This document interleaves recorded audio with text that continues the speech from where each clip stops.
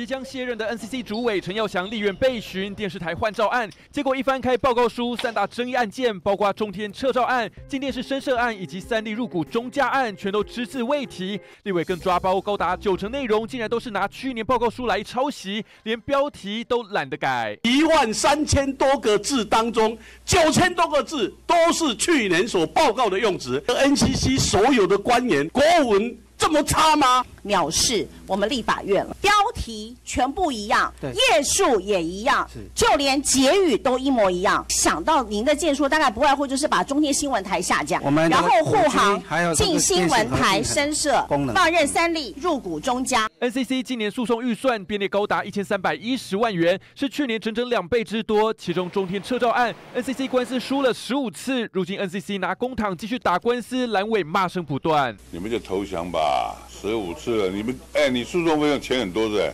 明年审预算，我把你诉讼费用全部给你砍掉，你们自己出钱了。哪有这样搞的？北高行法院判决里面还有在讲，你们准备好了国赔五七十九亿吗？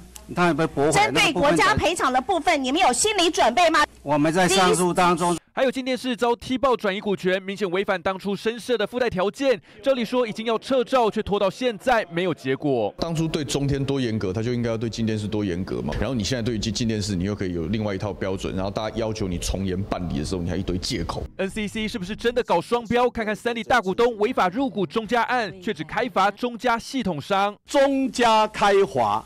三立不开罚，同一个合约，同一个案子，同一个违规事实啊，为什么只开卖方？美西公应该你关系开好，你都不开罚，这行政不中立。NCC 三大争议讲不清，新国会嘲小也大，陈耀祥少了绿营护航，在国会接受震撼教育。记者黄义俊、王志恒 SNG 小组台北采访报道。